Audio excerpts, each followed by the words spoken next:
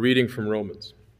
For whatever was written in former days was written for our instruction, so that by steadfastness and by the encouragement of the Scriptures we might have hope. May the God of steadfastness and encouragement grant you to live in harmony with one another in accordance with Christ Jesus, so that together you may with one voice glorify the God and Father of our Lord Jesus Christ. Welcome one another, therefore, just as Christ has welcomed you, for the glory of God. For I tell you that Christ has become a servant of the circumcised on behalf of the truth of God, in order that he might confirm the promises given to the patriarchs, and in order that the Gentiles might glorify God for his mercy. As it is written, Therefore I will confess you among the Gentiles and sing praises to your name. And again he says, Rejoice, O Gentiles, with his people. And again, Praise the Lord, all you Gentiles, and let all the peoples praise him. And again, Isaiah says, The root of Jesse shall come, the one who rises to rule the Gentiles. In him the Gentiles shall hope.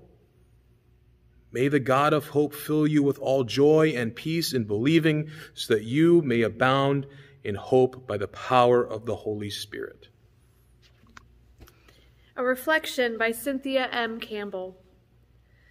Paul's exhortation to hope comes in a particular context that turns this from a well meaning bromide into a critically important word for the church today. Paul is writing to a community of believers in Rome, made up of both Jews and pagans, or Gentiles. They are together because Paul and others have been preaching a gospel whose message is that the promises of God that were made long ago to God's people Israel are now open to all because of the life, death, and resurrection of Jesus.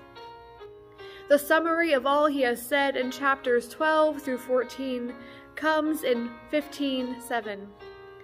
Welcome one another, therefore, just as Christ has welcomed you, for the glory of God. In order to give glory and praise to God, Paul says, Christ extended his welcome to all Jew and Gentile alike. In order to fulfill God's promises, Christ embodied God's intention to widen the circle of divine love.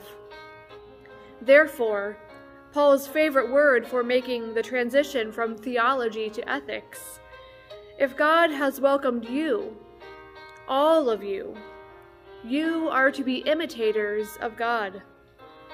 Life in Christian community is to be shaped by the practice of extending a welcome, of opening one's home and life, of giving hospitality to the other. Each side is to welcome the other. There is no longer insider and outsider. Now all are hosts and all are guests, because all have been welcomed by the infinite expanse of divine love question to consider throughout your day. To whom should you be extending Christ's welcome right now? Let us pray.